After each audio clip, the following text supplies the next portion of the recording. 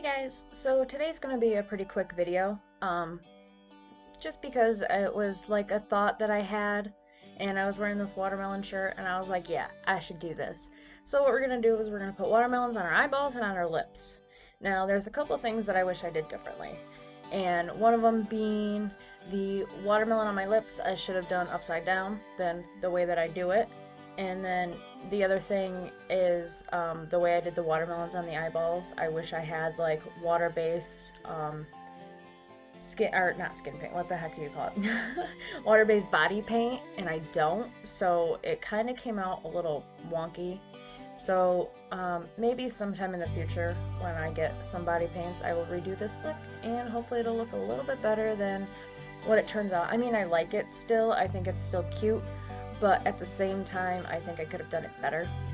Um, so for the most part, I just used some red from, well, this is the Morphe palette, so I use the reds in the Morphe palette. I also take some of the pink in the electric palette and um, put that in so it's not a deep red because most watermelon isn't just red, it's like a pinky red and, you know, it's, it's a different color red. And then I also take the electric palette and I use, which I'm showing you here, the greens, which I can't point to. Oh no, that's the pinks. Sorry. But the greens, I have trouble pointing to. You'll see that. Oh, and I just scratched my nose. Don't mind that. Whenever I do makeups, for some reason, my nose gets so itchy. It's like, it's like weird. I start, I start using things on my eyeballs, and then my nose is like, here, scratch. So I'm like, okay, I'll scratch it. And then I'm like, oh, I have to edit all these out because it looks like I'm picking my nose, but really, I'm just scratching it. Oh, here I am trying to point out the greens like a doof. Look at that. But those are the greens from the electric palette, and I just use those combined together. And I use that as the rind, and I'm also using the leftover red to kind of try to, you know, take the green off the red because I was kind of sloppy with this. Um, so yeah, so I'm going to retake that white eyeliner. That's the Inkwell eyeliner by Kat Von D. It's in the color whiteout. And hey, I'm getting better paying attention to where my face is on the camera, and I just moved it down. Look at me. Professional, or something. so I'm just doing the white part, the rind, the white part of the rind, watermelon, whatever part of it. I don't, I don't. What is considered the peel, the rind? Is that considered the rind? Considered the peel? No, the outside is considered the peel. I think that's the rind. We're gonna go with that. And then after I done, I'm done doing that, I'm gonna fix it up just a little bit because it's very hard to get perfect lines with that.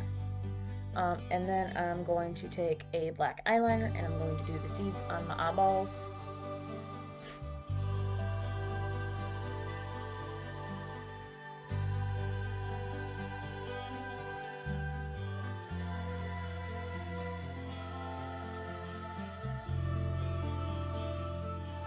And I had already had my base and everything done. So there's the watermelons on my eyeballs. Maybe next time I'll bring it up farther. I'm not sure. I'm not sure what I should do differently.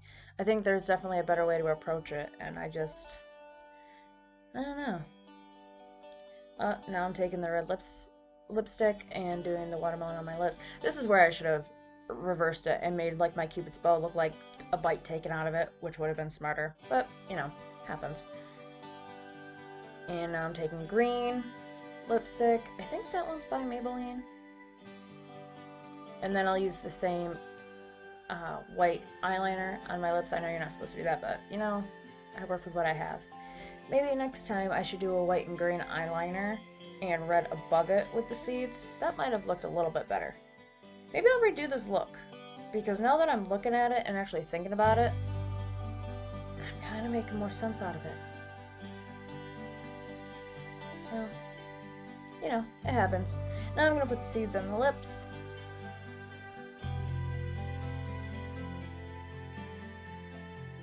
And this is finishing up and it's pretty much done.